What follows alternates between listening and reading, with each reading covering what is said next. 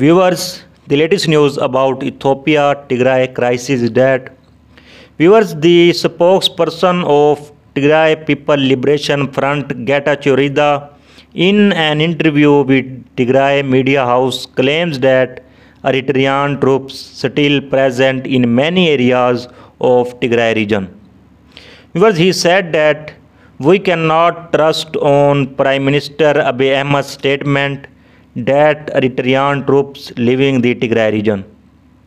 Viewers, he added in a statement that Prime Minister Abiy Ahmed just a liar.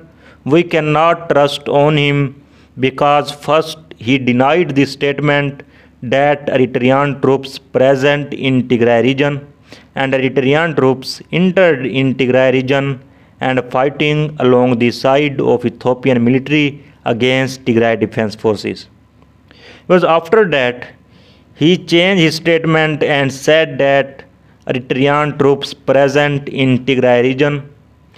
Viewers Getachew Reda said in an interview with Tigray Media House that first Prime Minister Abiy Ahmed denied about the involvement of Eritrean troops and after that he said Eritrean troops present in Tigray region.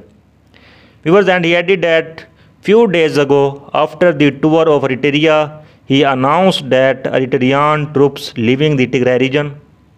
Viewers, TPLF spokesperson Getachew Reda said that we cannot trust on the statement of Prime Minister Abiy Ahmed that Eritrean troops leaving the Tigray region. It's because now Eritrean troops still present in Tigray region, so we cannot trust on Ethiopian Prime Minister Abiy Ahmed in an interview with Tigray Media House. Was Tigray People Liberation Front spokesman claimed that. Was on the other hand, Tigray People Liberation Front spokesman made a huge claim about big victories against them. Tigray People Liberation Front spokesman Getachew Reda said that they captured many big cities and now all these cities under the control of Tigray fighters. He said that mostly Tigrayan with us. Because he claims that Ethiopian military sent in Tigray to kill the Tigrayans, but now they cannot get out of many places in Tigray region. Was one of Getachew Reda words just like this.